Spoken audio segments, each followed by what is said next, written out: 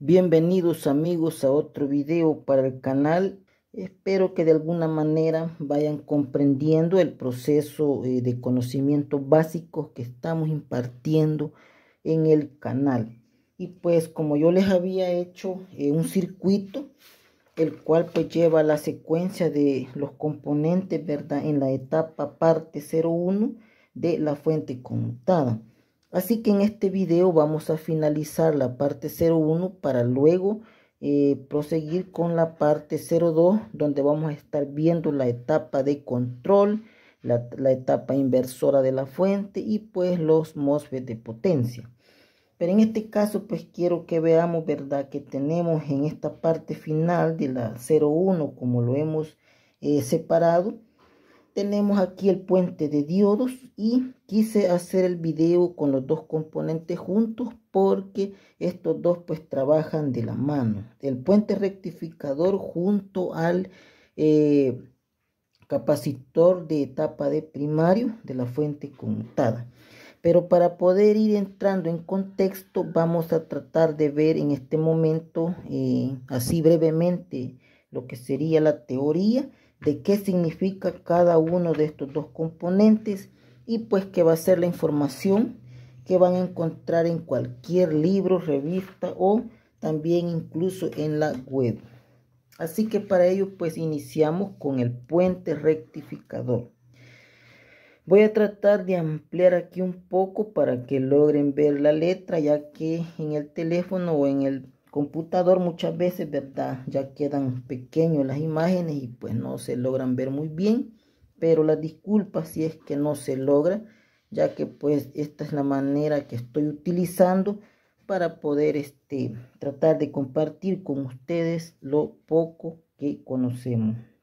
Así que bien amigos, tenemos el puente rectificador. La definición de este componente nos dice que es un circuito electrónico usado en la conversión de corriente alterna en corriente continua. Es decir, que el este, puente rectificador pues recibe una entrada alterna de AC y lo convierte en una salida de voltaje positivo negativo o continua, ¿verdad? Luego dice, también es conocido como circuito o puente de grids. Aquí no mucho yo entiendo el inglés, pero bueno, ustedes si saben inglés van a saber lo que esto dice. Luego dice, en referencia al físico alemán Leo, bueno, aquí está otra vez, este es como un apellido quizás del, del que hizo el componente, 1856 a 1941 que popularizó este circuito inventado por Carol Francis. Bueno, aquí hay un, este apellido al final que igual está en inglés, pero dice que eh, el circuito fue inventado por Carol Francis. Entonces, pues como podemos ver, ¿verdad? Estos componentes traen una trayectoria de tiempos atrás, donde pues han venido siendo este, fabricados. Al principio, pues alguien, ¿verdad? Eh, tuvo que inventarlo para hoy en día tener lo que conocemos como el puente de diodos. Y pues como vamos a llevar la teoría con la práctica, como siempre lo he dicho, aquí tenemos el puente de diodos en una fuente conmutada. Veamos, voy a apartar un poco esto. Aquí está el puente de diodos. Lo vamos a encontrar de esta manera en cualquier tipo de fuente, tanto en fuentes grandes como en fuentes pequeñas. y todo va a depender del tipo de amperaje que estos manejen, o mejor dicho, que la tarjeta fuente va a manejar. Y pues dependiendo de eso, también el puente rectificador va a llevar el voltaje eh, configurado según sea necesario. Aquí tenemos el D4SB60L, por lo tanto, pues este puente de 4 amperios. En un momento, ¿verdad? Este, importante, cuando vayamos avanzando, vamos a ir viendo también las numeraciones, que qué significan, cómo saber el amperaje y pues muchas veces también sus fabricaciones. Así que continuando con esto, pues podemos ver que este componente consta de cuatro conectores o cuatro pines. Por aquí tengo uno ya así este, fuera de tarjeta y podemos ver que en los dos puntos principales del centro tenemos dos símbolos sinusoidales y pues eso nos indica que por aquí entra el voltaje alterno. Este puede ser 120 o 220 voltios o hasta 240 eh, voltios con los que algunas este, fuentes trabajan en otros países. Aquí en mi país pues manejamos más que todo el 120 para lo que son las fuentes los equipos electrónicos, eh, la mayoría trabajan con ese voltaje. Hay algún tipo de máquinas como las lavadoras con secador incorporado, pues que esas sí trabajan a 220 voltios, pero internamente pues ese voltaje más que todo es para las resistencias eléctricas, ya que la lavadora en sí, el motor trabaja a 120 y pues internamente se hacen las reparticiones de diferentes potencias. Pero bien, continuando con este punto, pues una vez que el voltaje de alterna ingresa a través de los dos puntos de conexión del centro, tenemos la salida ya convertida en positivo y negativo o voltaje continuo, que es lo que nos explicaba aquí la teoría. Veamos. Y también vamos a encontrar pues que el diagrama eléctrico de un puente rectificador va a venir presentado de esta forma. Podemos ver que en la salida negativa apuntan los dos cátodos que toman voltaje alterno tanto de la línea como del neutro o viceversa y pues va a estar conectado este tipo de uniones para así de ese modo poder rectificar la onda completa ya que si solo conectáramos un positivo de este punto a la salida positiva y el negativo a la salida negativa sin usar dos más, tendríamos media onda rectificada. Pero bien, aquí tenemos la onda completa, por lo tanto, pues el rectificador siempre va a ser así. Internamente, estos componentes traen cuatro diodos, los cuales vienen configurados pues de forma eh, de fábrica que vienen de forma ahí este, adecuado para poder hacer su funcionamiento. Luego, pues pasado eso del puente rectificador, ¿verdad? Una vez que el voltaje sale positivo y negativo, vamos a entrar en contexto con lo que sería el capacitor. Aquí tenemos el capacitor, el capacitor electrolítico tiene polaridad tiene positivo y tiene negativo. El capacitor electrolítico debemos de tener cuidado al momento que vayamos a conectarlo. Debido a que estos capacitores, como podemos ver, tienen sus polaridades y si nosotros conectamos invertido estas polaridades, corremos el riesgo de una explosión y les diré amigos que no es nada agradable porque esto aparte de la explosión y un montón de humo que lanza, también expande lo que es un aceite el cual se riega bastante de forma agresiva en el lugar donde se esté trabajando. Así que es de tener muy en cuenta que un capacitor pues tenemos que conectarlo con las polaridades como corresponden. ¿Cómo va esto? El puente rectificador tiene salida positiva y negativa, como lo podemos ver aquí. El positivo del puente rectificador siempre va a conectar al positivo, el cual va a ser por donde tenemos este conector de salida y no hay ninguna franja. Veamos, todo es del mismo color. Ahora bien, el negativo viene bien identificado. Aquí podemos ver que tenemos el punto de conexión negativa y aquí hay una franjita blanca en la cual pues siempre viene indicado con un signo menos o en algunas veces si no lo trae pero esto es el negativo. Y esta es la forma de cómo este se conecta.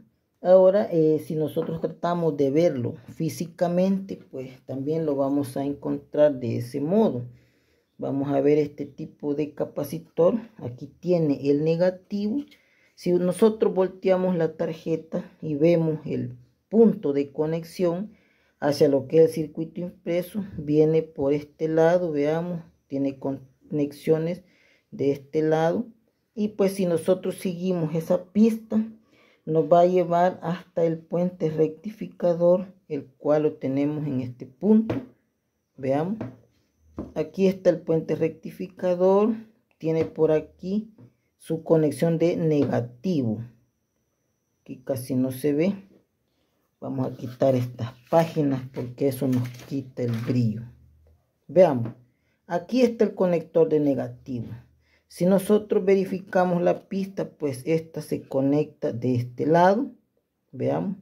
Aquí está la conexión de esta pista de lo que sería el capacitor y viene por este lado, ¿verdad?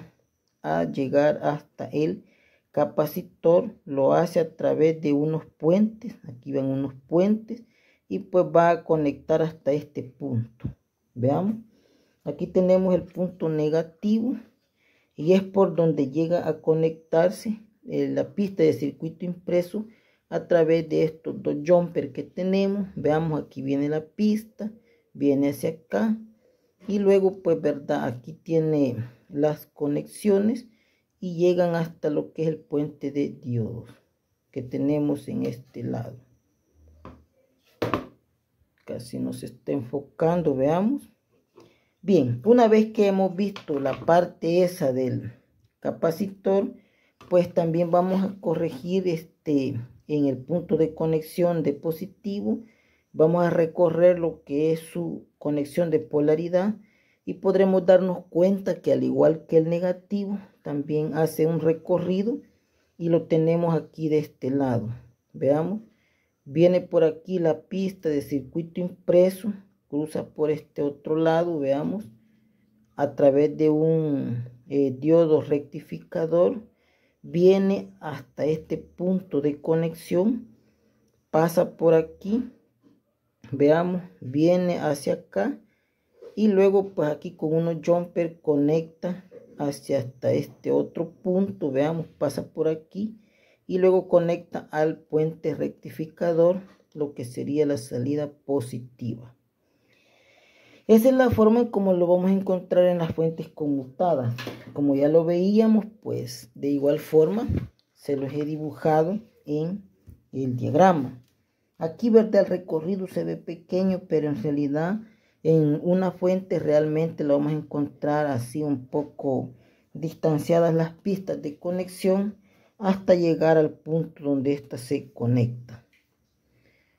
Muy bien, espero que pues les esté quedando, ¿verdad? Claro lo que es la conexión del positivo o voltaje ya rectificado, el cual nos está entregando nuestro puente rectificador. Eh, del negativo vemos que conecta al negativo de capacitor y de positivo pues al positivo del capacitor. Amigos, esto ha sido todo por este video.